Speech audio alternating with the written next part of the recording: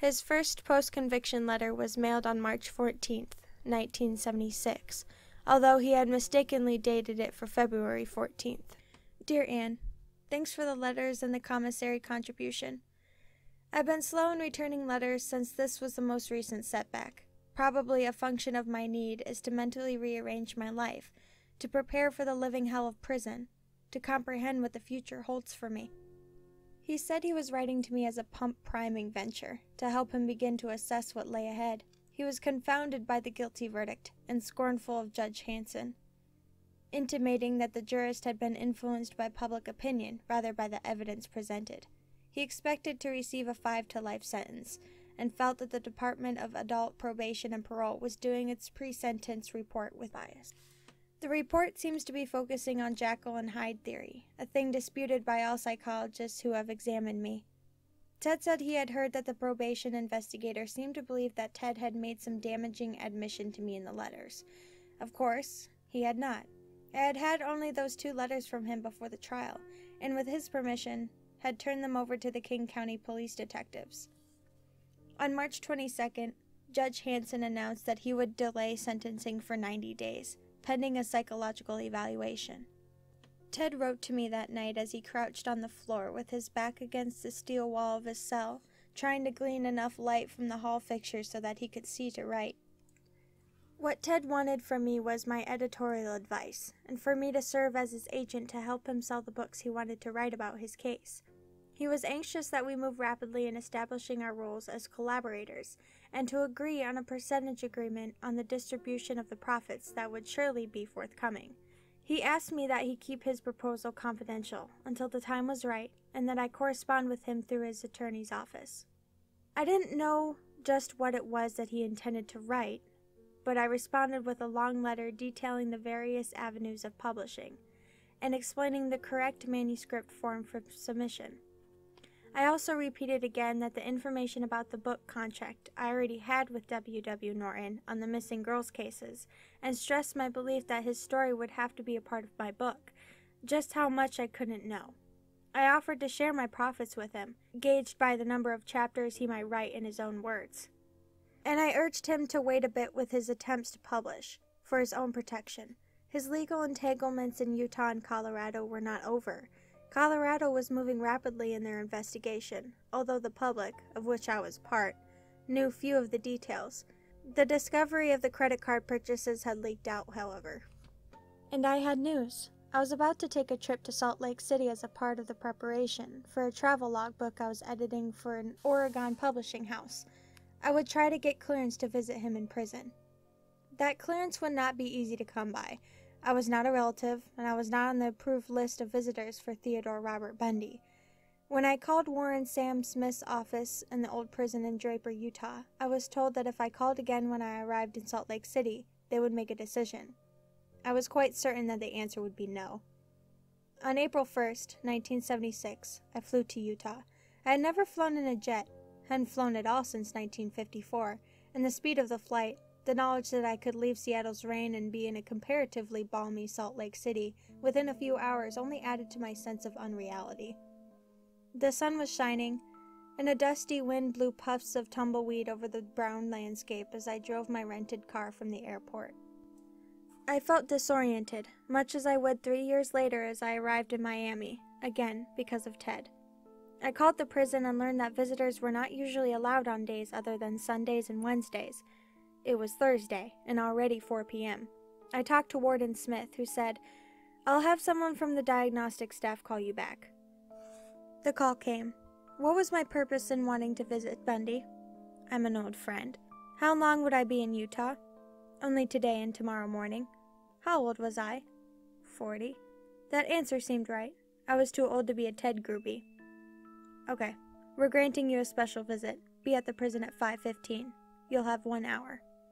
The Utah State Prison at Point of the Mountain was about 25 miles south of my hotel, and I had barely enough time to find the right freeway, going in the right direction, and reach Draper, the post office stop, population 700. I looked to my right and saw the twin towers with guards armed with shotguns. The old prison and the landscape around it seemed to be all the same gray brown color. A feeling of hopelessness seized me.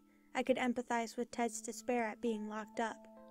I'd spent a summer working as a student intern at the Oregon State Training School for Girls when I was 19, and I'd carried a heavy ring of flat keys wherever I went. But that was a long time before. I'd forgotten the security needed to keep human beings behind walls and bars. The guard at the door told me I couldn't take my purse inside. What can I do with it? I asked. I can't lock it in my car because my keys are in it. May I bring my keys in? Sorry, nothing inside. He finally relented and opened up a glassed in office where I could leave my car keys after I had locked my purse in my rental car. I carried my cigarettes in hand. Sorry, no cigarettes, no matches. I put them on the counter and waited for Ted to be brought down. I was feeling claustrophobia I always felt in jails, even though my work may take me into almost every jail in Washington sooner or later. I felt my chest tighten, my breath catch. To get my mind off my cloistered feelings, I glanced around the waiting room. It was, of course, empty. It was not regular visiting hours. The dull walls, sagging chairs, seemed to not have changed in fifty years. There was a candy machine, a bulletin board, pictures of the staff, a leftover religious Christmas card. To whom? For whom? Disciplinary notions on prisoners. For sale notices. An application to sign up for self defense classes. Who? The staff? The visitors? The inmates? Where would we talk? Through a glass wall via phones? through steel mesh. Some people hate the smell of hospitals. I hate the smell of jails and prisons. All the same, still cigarette smoke, Pine-Sol, urine, sweat, and dust. I didn't want to see Ted in a cage. It would be too humiliating for him. A smiling man walks towards me. Lieutenant Tanner of the prison staff, and asked me to sign in. But first we moved through an electric gate that clanged shut behind us heavily. I sign my name, and Lieutenant Tanner sees me through a second electric gate. You can talk here. You'll have an hour. They'll bring Mr. Bundy down in a few minutes. It's a hallway, a tiny segment of space between two automatic gates on either side. There are two chairs shoved against a rack of hanging coats, and for some reason, buckets of varnish beneath them. A guard sits in a glass enclosure four feet away. I wonder if he will be able to hear what we say. Beyond me is the prison proper, and I can hear footsteps approaching. I look away, the way one averts his eyes from someone crippled or malformed. I cannot stare at Ted in his cage. The third electric door slides open, and he is there, accompanied by two guards. They search him, pat him down. I was not searched. Had they checked me out? How did they know I had no contraband, no razor up my sleeve? Your ID, ma'am? Someone is talking to me. It's in my car. I had to leave everything in my car. The doors open again as I run back to retrieve my driver's license, something to prove who I am. I hand it to the guard and he studies it, hands it back. I have not looked directly at Ted. We both wait. And now he stands in front of me. For a crazy instant, I wonder why prisoners wear t shirts proclaiming their religious preferences. His is orange and says agnostic on the front. I look again. No, it reads diagnostic. He is very thin, wears glasses, and his hair is cut shorter than I have ever seen it. He smells of acrid sweat as he hugs me. They leave us alone to talk in this funny coat room hall. The guard behind the glass across from us appears to be disinterested, and we are interrupted only by a steady stream of people guards, psychologists, prisoners' wives headed for the Al Anon meeting. One of the psychologists recognizes Ted and speaks to him, shakes hands. That's a doctor who did a psychological profile on me for John O'Connell. He told John, off the record, that he couldn't see how I could have done it. Many of the people moving past us, wearing civilian clothes, nod and speak to Ted. It is all very civilized. I'm in the fish tank, he explains. There are forty of us in the diagnostic center. The judge ordered that I be held in a protective custody, but I turned it down. I don't want to be isolated. Still, he admits to a good deal of trepidation on his arrival at Point of the Mountain. He is aware that men convicted of crimes against women have a high mortality rate inside the walls. They were lined up to see me when I arrived. I had to walk the gauntlet. But he has found prison much easier than jail. He is rapidly becoming a jailhouse lawyer. I'll survive inside. if I do, because of my brain, my knowledge of the law. They seek me out for legal advice, and they're all in awe of John. I only had one really bad moment. This one guy, a killer who literally ripped out the throat of the man he killed, walked over to me, and I thought I had it. He was only interested in knowing about John and finding out how he could get John to represent him. I get along fine with all of them. He glances at the locked gate behind me. They left it open when you went for your ID. I saw the coats here, the door open, and the thought of escaping flashed through my mind. But only for a minute. The trial just finished rankles Ted and he wants to discuss it. He insists that Carol DaRonch was talked into her identification of him by the Salt Lake City detectives. Her original description of the man said he had dark brown eyes. Mine are blue. She couldn't make up her mind against the mustache, and she said his hair was dark, greased back.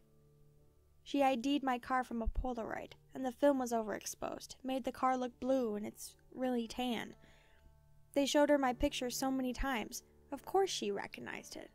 But in court, she couldn't even identify the man who picked her up and drove her to the police station. And then Jerry Thompson said he saw three pair of patent leather shoes in my closet. Why didn't he take a picture of them?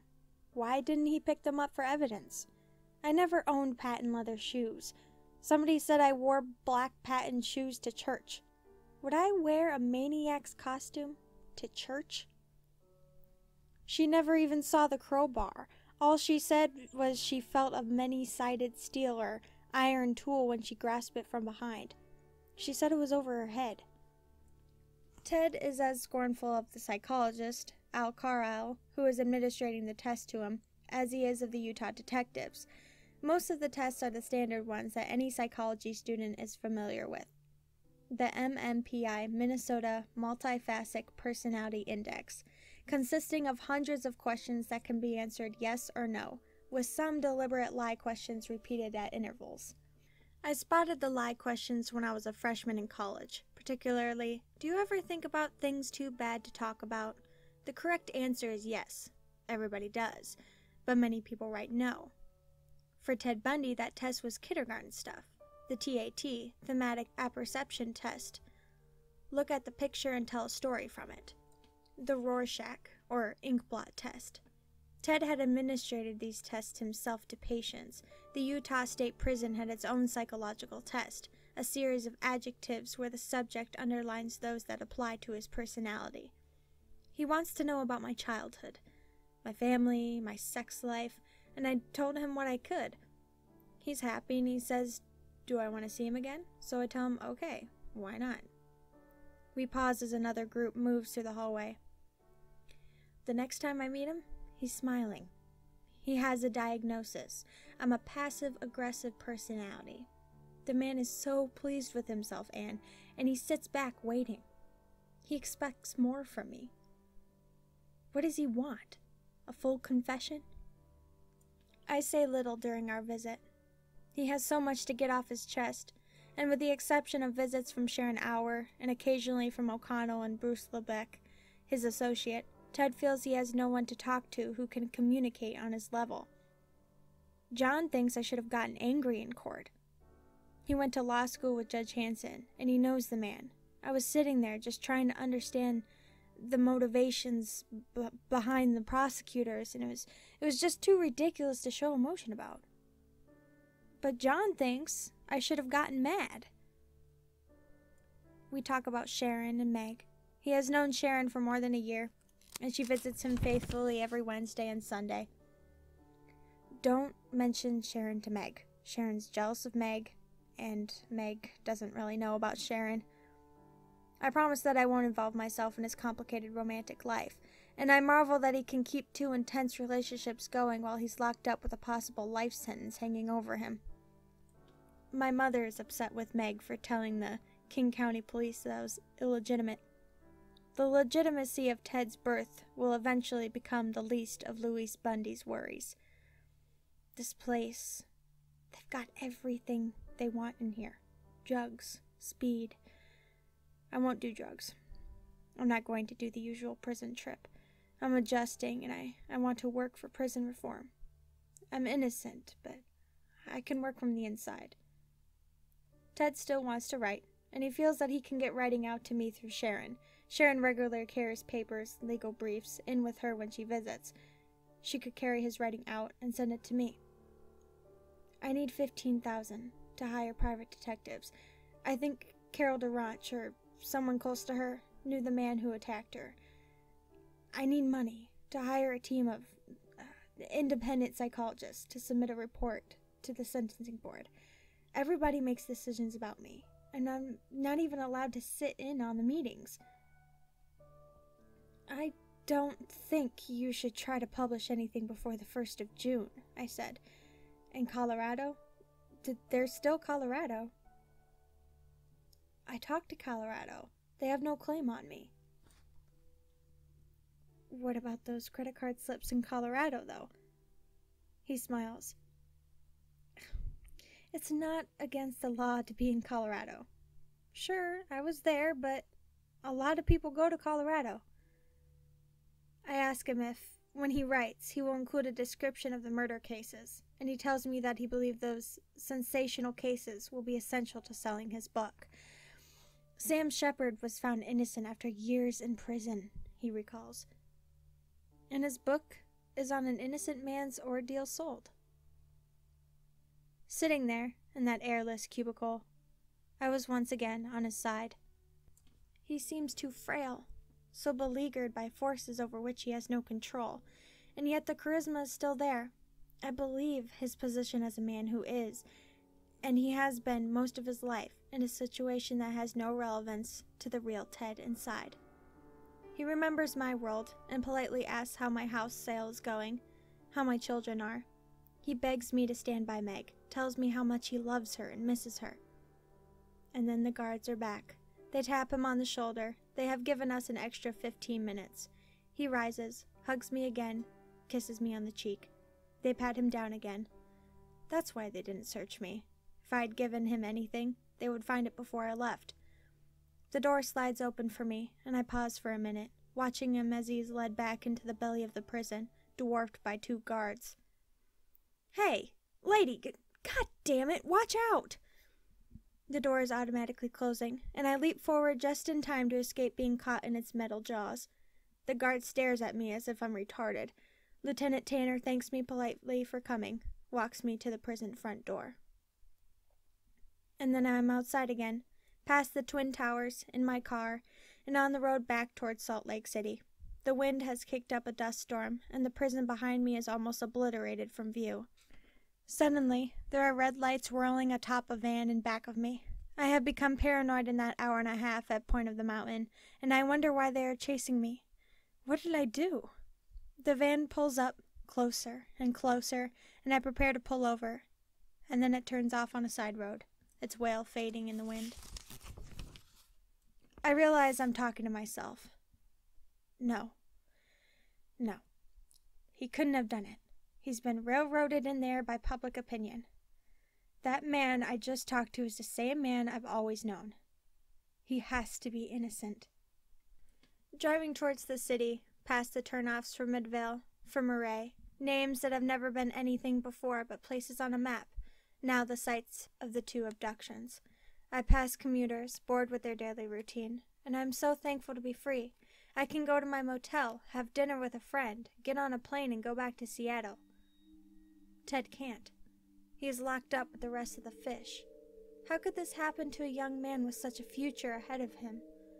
I am so caught up in my reverie that I miss the turn to my motel and wander, lost, in the wide, clean, but confusing streets of Salt Lake City. It was that night, April 1st, 1976, when I had the dream. It was very frightening, jarring me awake in a strange room in a strange city. I found myself in a large parking lot, with cars backing out and racing away. One of the cars ran over an infant, injuring it terribly, and I grabbed it up, knowing it was up to me to save it. I had to get to a hospital, but no one would help. I carried the baby, wrapped almost completely in a gray blanket, into a car rental agency.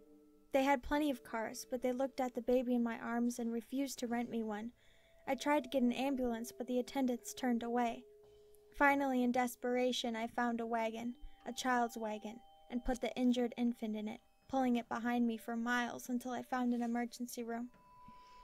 I carried the baby, running up to the desk. The admitting nurse glanced at the bundle in my arms. No, we will not treat it. But it's alive. It's going to die if you don't do something. It's better. Let it die. It will do no one any good to treat it. The nurse, the doctors, everyone turned and moved away from me and the bleeding baby. And then I looked down at it. It was not an innocent baby. It was a demon. Even as I held it, it sunk its teeth into my hand and bit me. I did not have to be a Freudian scholar to understand my dream. It was all too clear.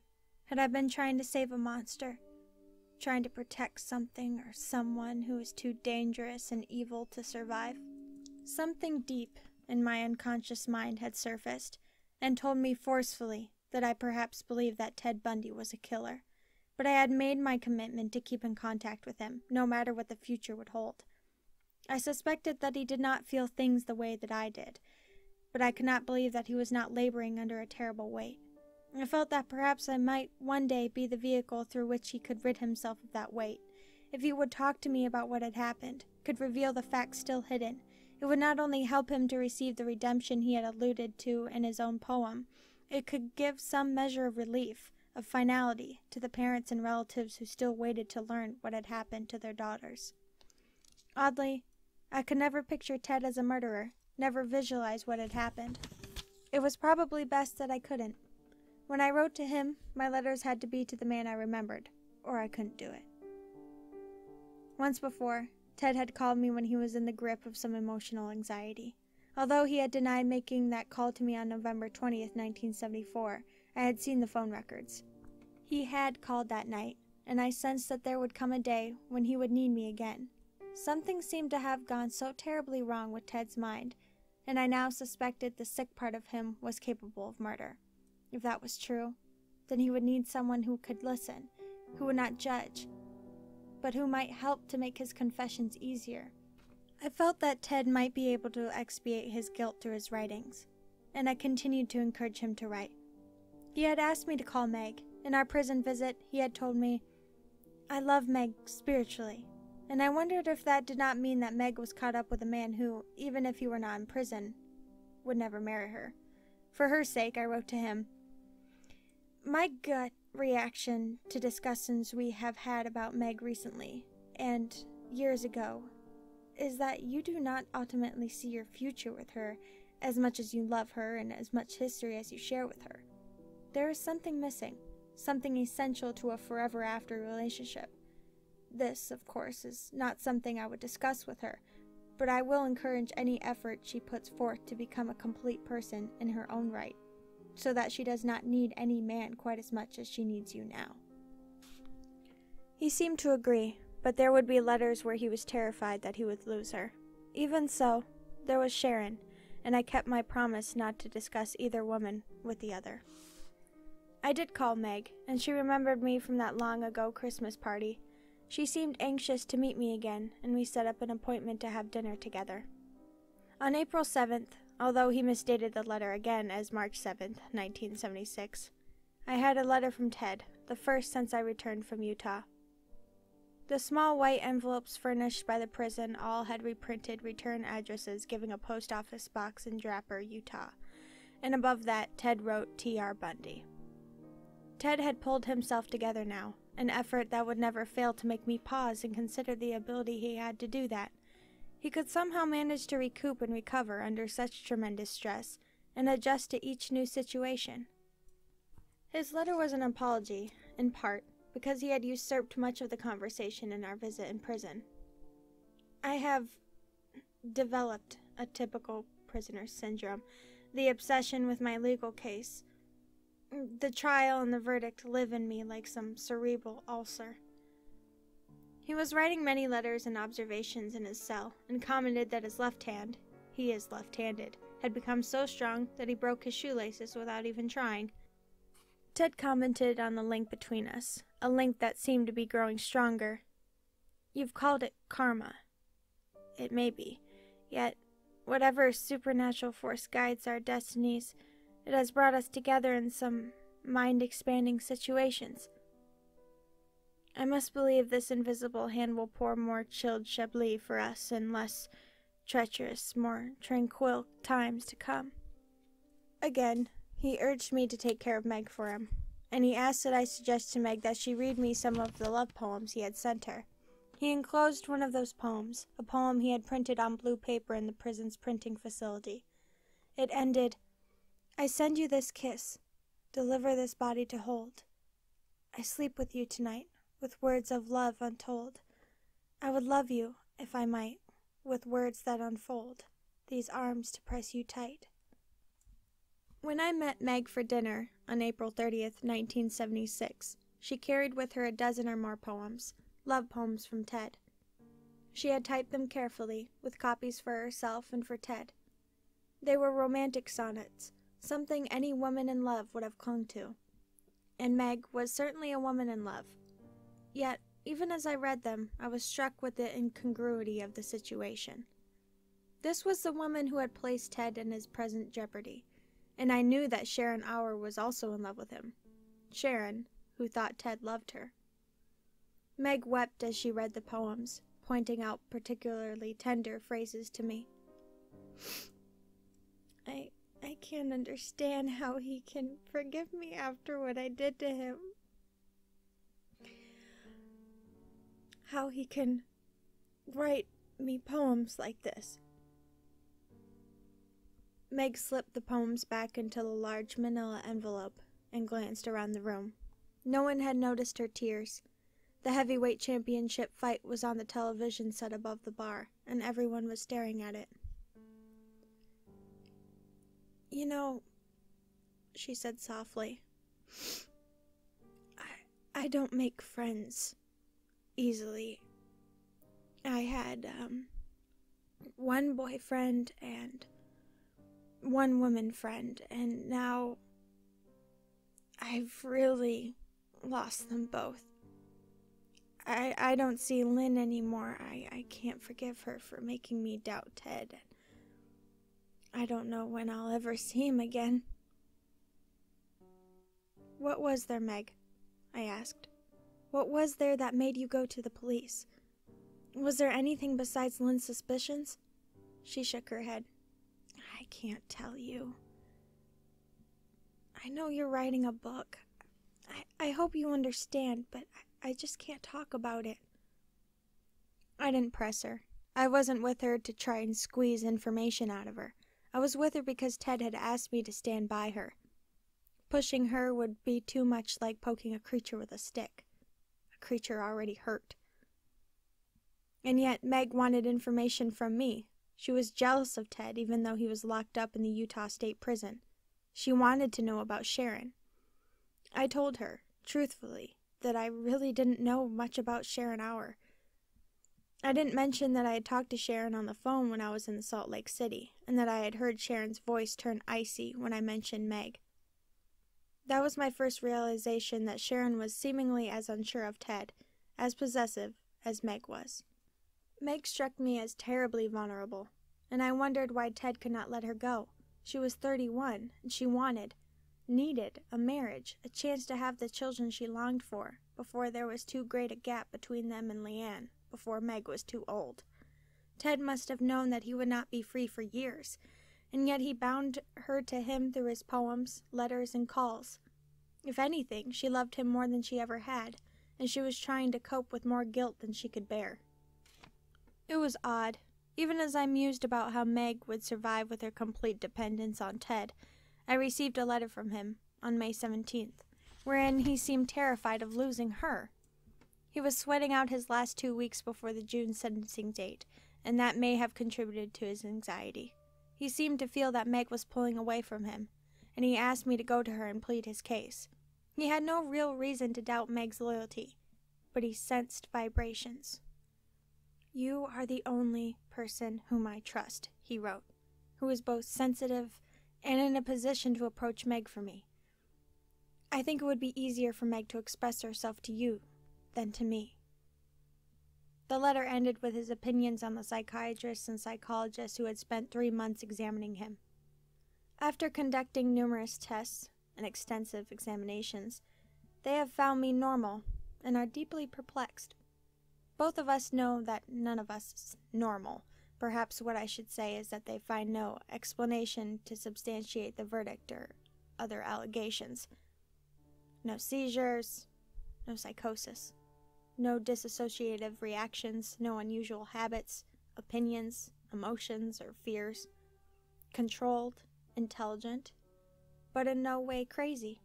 The working theory is now that I have completely forgotten everything, a theory which is disproved by their own results. Very interesting, they keep mumbling. I may have convinced one or two of them that I am innocent. I did call Meg on Ted's behalf, and found that she was completely unchanged in her devotion to him. She had managed to tell him that in a two minute phone call to prison, and urged me to assure him that she wasn't dating anyone else. He did not want to let her go, and Meg apparently did not want to leave him. On June 5th, Meg came to my home to spend the evening. She had just seen her parents off after a week long visit and was tense because they were not sympathetic about her continued allegiance to Ted. She was also apprehensive about Sharon, more aware of Sharon's relationship with Ted than he realized. I was in the middle of a situation that made me uneasy. I didn't want to cover for Ted if he was deluding Meg, but I didn't want to tell her about Sharon's twice weekly visits to the Utah State Prison either. I suspected that I was being subtly manipulated in keeping Meg bound to Ted. I wrote to him about Meg on June 6th. I think that she is aware of Sharon's relationship to you, but I stress that I really know nothing about it, and I don't know, and I don't want to know. When the time comes to think of everyday conflicts, you will have to get your act together. Ted's future was still in limbo. The sentencing on the DaRonch kidnapping conviction, set for June 1st, had been postponed for 30 more days. It was conceivable, but not likely, that he would receive probation, or he could receive life in prison. Psychologists were still wrestling with his personality. I had received a phone call from Al Carlisle, the psychologist in charge of the report on Ted, one Sunday evening. He began abruptly Do you know Ted Bundy? Who wants to know? I responded, knowing Ted Bundy was becoming something that someone did not brag about. He had then identified himself, sounding like a shy, diffident man. I told him only what I had seen. There was no point in getting my dreams and fears into what was allegedly a rational psychological study. I explained that, in all my contacts with Ted, I had found him normal, empathetic, friendly, gentle, and that was true. Well, he said, I've talked to a lot of people about him, and I've been surprised at the widely divergent opinions about him. I wanted to ask what they were, but it didn't seem the proper response. I waited. I like him myself. I've spent about 12 hours with him, and I like him. Carlisle wanted copies of the two Ted letters which had garnered such undeserved fame, and I said I would send them, but only with Ted's permission. Ted gave that, and I mailed them to the prison psychologist. Ted wrote again on June 9th. With sentencing just around the corner, he had geared up for a fight. The prospects are exciting. Ted found the psychological examinations malicious, slanted, and infernal. Harking back to his own psychology training, he felt prepared to deal with the questions that the doctors asked him and his friends questions which suggested that he might be strange, homosexual, or deviant in his demands during sexual intercourse. He was angry because his examiners had told him that some of his friends had had negative things to say about him, but would not reveal the content of interviews or the names of friends. I was aghast. Is this America? Am I to be attacked anonymously? I listed the names of several close friends, people who knew me well. None had been contacted. Who are my detractors? No response.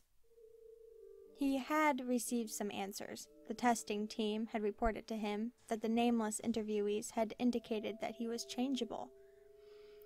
Well, sometimes you appear happy, pleasant. Other times you would seem like a different person and unresponsive, they had told him. They are trying so desperately to create a split personality, he wrote angrily. I will tear them apart. He was, indeed, looking forward to the hearing on his mental capabilities, positive that he could tear down all that the diagnostic team had constructed in the three months just past. Ted had begun to enter into the legal fight for his own freedom, and his participation would escalate over the years ahead. He was up, confident that his mind, his intelligence, could surpass whatever the psychiatric examination purported to reveal. I think he truly believed that, through his own rhetoric, he would be free. Ted did make his statements to Judge Hanson. As he made his plea, he was the cocky, witty Ted, the man so removed from the facts that the whole situation was ridiculous. It was a posture that would irritate several judges and juries in his future court wranglings, but it was seemingly an attitude necessary for the survival of his ego. I have always felt that Ted would literally rather die than be humiliated, would face life in prison or the electric chair before humbling himself in any way. At the hearing, Ted was scornful as he attacked the arrest in August and October of 1975. He admitted to a certain strangeness of behavior when he had been confronted by Sergeant Bob Hayward, but could see no connection with his actions, with the contents of his car, and the DaRonch kidnapping. He had had no alibi for the night of November 8, 1974, and he argued if I cannot remember precisely what occurred on a date which is now 18 and one half months prior to my arrest for a kidnapping, it is because my memory does not improve with time. It is safe to say what I was not doing, however. I was not having heart surgery, nor was I taking ballet lessons, nor was I in Mexico, nor was I abducting a complete stranger at gunpoint. There are just some things a person does not forget and just some things a person is not inclined to do under any circumstances. Then, Ted was sentenced on June 30th, despite his tearful plea that his being in prison would serve no purpose. Someday, who knows when, five or ten or more years in the future, when the time comes when I leave, I suggest you ask yourself where we are, what's been accomplished, was the sacrifice of my life worth it all? Yes, I will be a candidate for rehabilitation, but not for what I have done, but for what the system has done to me.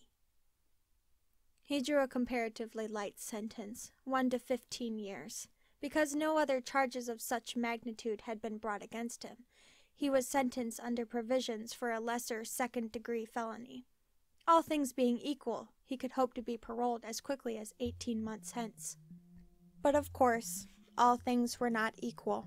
The investigation into the murder of Karen Campbell in Aspen, Colorado was accelerating. Investigator Mike Fisher had the credit card slips, and he had received word from the FBI lab criminalist, Bob Neal, that among the hairs found when Ted's Volkswagen was processed and vacuumed, were hairs that were microscopically alike in class and characteristic to not one, but three of Bundy's suspected victims Karen Campbell, Melissa Smith, and Carol DaRonch. Hairs are not as individual as fingerprints, yet Bob Neal, an FBI crime lab expert for two decades, stated he had never found three victims' purported hairs in one spot before. The chances of three different hair samples being so microscopically alike and not belonging to the victims are 1 in 20,000. I've never seen anything like it. One Washington detective mentioned to me that the crowbar found in Ted's car matched the depression in Karen Campbell's skull. There was said to be an eyewitness, the woman who had seen the strange young man in a second floor corridor of the Wildwood Inn minutes before Karen vanished. The word among law enforcement networks was that the Colorado case was much stronger than the Utah kidnapping case had been. If Ted was aware of the burgeoning Colorado case, and I suspect he was, he was still more caught up in the emotions that lingered after the sentencing in Utah when he wrote to me on July 2, 1976. That letter was classic, in that it was the evaluation by the subject himself, an honor psychology graduate, of the psychiatric evaluation done on him. The letter was typed. typed on an ancient machine with letters clotted with ink, but Ted's pride in his hour and a half dissection of the psychiatric evaluation transcended the blurred pages. I was whistling in the wind, yet in a curious sort of way. I felt a deep sense of fulfillment. I felt relaxed but empathetic, controlled but sincere, and filled with emotion. It didn't matter who was listening, although I desired each word to strike that judge as forcefully as possible. Briefly, all too briefly, I was myself again, amongst free people, using all the skill I could muster, fighting the only way I know how, with words and logic, and all too briefly, I was testing the dream of being an attorney. He knew he had lost, but he blamed that loss on the police, the prosecutors, the judge, on what he termed the weaknesses of men who are too timid, too blind, too frightened to accept the cruel deception of the state's case. The psychiatric diagnosis had concluded that Ted Bundy was not psychotic, neurotic, the victim of organic brain disease, alcoholic, addicted to drugs, suffering from a character disorder or amnesia, and was not sexual deviant. Ted quoted Dr. Austin, the psychiatrist, the one member of the team whom he had thought most forthright. I feel that Mr. Bundy is either a man who has no problems or is smart enough and clever enough to appear close to the edge of normal. Since it has been determined by the court that he is not telling the truth regarding the present crime, I seriously question if he can be expected to tell the truth regarding any participation in any program or probation agreement. Ted's conclusion was that Judge Hanson had swayed the entire evaluation by his original verdict, and that the diagnostic team had merely groomed their report to match the verdict. Carlisle had evidently concluded that Ted was a private person, one not known intimately by others. When one tries to know him, he becomes evasive. And think of me as you know me, Ted wrote. Yes, I- I'm a private person, but so what? And the part about being someone incapable of being intimate is absurd. Ted had been given the California Life Goals Evaluation Scheduled test. His answers had shown that he had six goals to have freedom from want, to control the action of others, to guide others with their consent, to avoid boredom, to be self fulfilled, to live one's life one's own way. None of these goals could be considered abnormal, and Ted was quick to point that out to me in his letter. He admitted readily that he was insecure, as Dr. Carlisle had suggested, and that perhaps he tried to structure his relationships with other people. Again, think of me, our crisis clinic days, and more recently our conversations during our meetings in Seattle. It is entirely possible that I do structure my relationships with other people. Maybe not consciously, but there must be some order in my life. One of the conclusions that galled Ted the most was that Dr. Carlisle had found Ted to have a strong dependency on women, and deduced that that dependency was suspect. That I am dependent on you women has got to mean something. What, though? I am undeniably dependent on women. Given birth by a woman, taught in school by women, and deeply, deeply in love with one woman. I ask any woman with whom I have been involved, socially, professionally, or intimately, to look at our relationship. Was I some twisted mass of nerves? Subjugating myself to superior womanhood? Carlisle had found that Ted had a fear of being humiliated in his relationships with women, and Ted sardonically confessed a personal distaste for being put down and humiliated. Draw whatever inferences you must, but like Brer Rabbit, throw me in the briar patch, female companionship, any time you want. We are still a long way from running around scooping up teenage girls. For every conclusion that Dr. Carlisle asserted, Ted had a comeback. He denied that he ran from his problems or that he was unstable, pointing out his amazing strength under the rigors of the DaRonch trial and his ability to function under stress. No one could fault him there. Ted continued on his incisive critique. Citing Carlisle's report, he could not agree that the profile emerging was, as the psychologist noted, consistent with the nature of the crime for which he was convicted. If this is true, Ted wrote, there are a lot of potential kidnappers running around loose out there. The conclusion is preposterous and indicative of the strenuous attempt to satisfy the presumptions underlining the verdict. The report was a despicable fraud. Ted's pain and hopelessness came through in the last paragraph of that long, long letter. I'm exhausted. The bitter reality has dawned, but the full impact of my fate has not been fully understood. Since the sentence was handed down, the first flashes of intense anger and despair have grown out of the knowledge that Meg and I shall never have a life together. The most beautiful force in my life has been separated from me.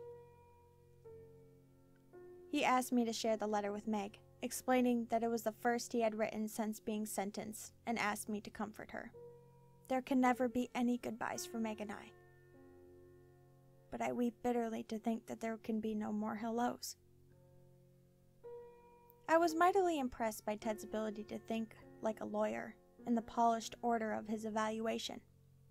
His IQ had been tested at the Utah State Prison and found to be 124. Not an ingenious level, but what a student in a four year college needs to graduate, but he was clearly superior to the test results. My loyalties wavered once again.